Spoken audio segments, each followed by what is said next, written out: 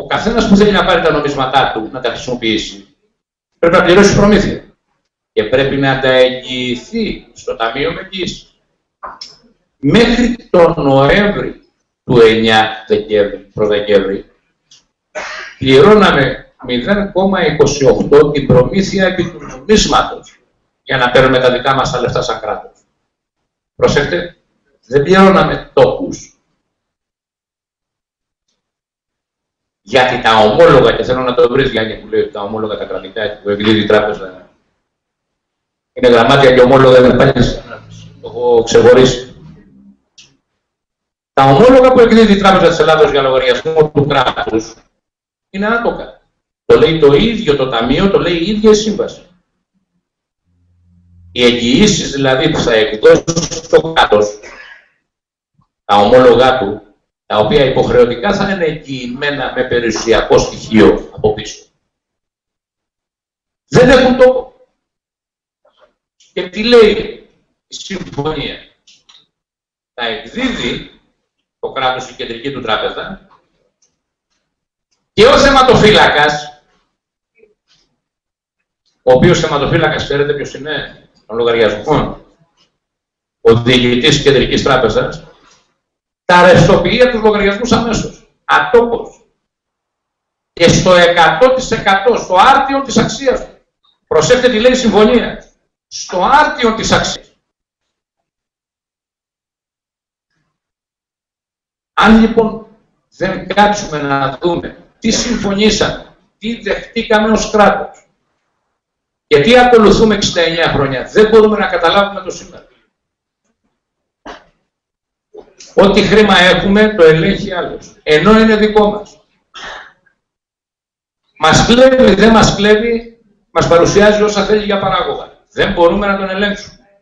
Θα σας παρακαλούσα όλους να κάτσετε να διαβάσετε το αναρτώ κάθε μέρα με σχόλια όλη τη συμφωνία, καθίστε και διαβάστε. Θα εξηγήσετε τους Καραμαλίδες, η Χούντα, τους Παπατρέιδες, τους Μητσοτάκηδες, όλους τους Κουκουέδες, το Φλωράκι, το Κύρκο, όλους αυτούς που τόσα χρόνια είδατε, διαβάζοντας αυτή τη συμφωνία, θα τους ερμηνεύσετε όλους να δείτε τι απαταιώνες ήταν. Δεν μπορείτε να το φανταστείτε για πόσο απαταιώνες. Έρχεται το 1944 η κομμουνιστική Ρωσία, που έχω βάλει όλα τα ονόματα που αναφέρει το ΦΕΚ, είναι όλοι από τα πρακτοράτα του λαού της Ρωσίας και υπογράφουν τώρα οι κομμουνιστές Ρώσοι, που είναι εναντίον του υπεριαλισμού, που είναι εναντίον του κεφαλαίου, που είναι εναντίον του πλούτου και παραδίδουν τα κρατικά αποθέματα όλα και το νόμισμά τους στη διαχείριση της Φέτερα, των Αμερικανών δηλαδή. Και εσείς τόσα χρόνια ξέρατε για τα δύο ημισφαίρια του πλανήτη, το δεξιό και το αριστερό το καπιταλιστικό και το κομμουνιστικό. Ψυχρό πόλεμο, πολέμους, σκοτωμό οι λαοί, εμφύλιος στην Ελλάδα. Έτσι δεν είναι. Αυτά δεν μάθαμε τόσα χρόνια. Αυτά δεν βιώσαμε. Έλα όμως που είναι χεράκι, χεράκι τραπεζίτες και είναι όλοι υπό τη φέτερα, όλος ο πλανήτης υπό τη φέτερα, όλος ο πλανήτης υπό των εννέα οικογενειών Εβραίων, Χαζάρων, Μοκόλων, που έχουν ιδιοκτησία τους στη Φέτερα. Μαροκινός. Μαροκινός. Δεν με ενδιαφέρει ήταν ο Στάλιν. Πρέπει να καταλάβουμε την πραγματικότητα.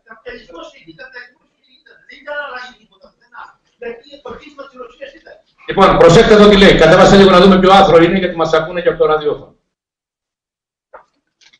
Όπα, εδώ. Είναι το εδάφιο 5. Από πιο πάνω πρέπει να λέει το άθρο.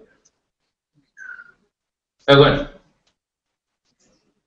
Κάτω λίγο πιο κάτω, κάτω, κάτω. Όπα. Δεν έχω γράψει το άστρο. Βλέπετε τι λέει. Υποκατάστασης των νομισμάτων δια ομολόγων. Εδώ είναι το κόλπο που κάνανε. Ο Εβραίος τραπεζίτης εφήβρε το γραμμάτιο. από την ώρα που εφήβρε το γραμμάτιο για να εφαρμόσει τον τόπο, είχε τελειώσει το παιχνίδι. Αυτό έχει ολοκληρωθεί περίπου το 1700. 300 χρόνια πίσω από σήμερα.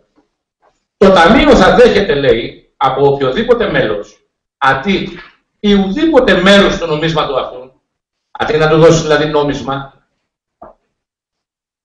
θα δέχεται το Ταμείο, το οποίο κατά την κρίση του Ταμείου δεν απαιτείται για τη λειτουργία του. Τι εννοεί εδώ ότι μπορεί το Ταμείο να πει έχω έλλειψη νομίσματος, δώσ' μου νόμισμα και δεν μου κάνει το ομόλογο. Ξέρετε τι σημαίνει αυτό; Υποχρεώνει το κράτος να εκδώσει νόμισμα και να το καλύψει με εγγύηση σε χρυσό. Α, ξέροντας η κεντρική τράπεζα τι αποθέματα υπάρχουν κρατικά σε χρυσό, εκδίδουν νόμισμα και ζητάνε την εγγύηση σε χρυσό. Με τι θα καλύψει όμως εδώ πέρα το νόμισμα αυτού; Προσέξτε τι λέει. Γραμμάτια ή παρόμοιας ομολογίας, ομόλογα δηλαδή, εκδιδόμενες υπό του μέλους ή του θεματοφύλακος του οριζόμενου υπ' αυτού. Συμφώνως με το άρθρο 13, εδάφιο 2. Ο θεματοφύλακας είναι ο διοικητής της Κεντρικής Τράπεζας. Αυτό εδώ είναι η απάντηση πώς πληρώνονται και τα ομόλογα του ΣΟΡΑ. Αλλά και πώς πληρώνονται και τα ομόλογα σε χρυσό του ΣΟΡΑ οι μετοχές της Τράπεζας της Ανατολής. Αυτό είναι το κλειδί της απάντησης για όλους.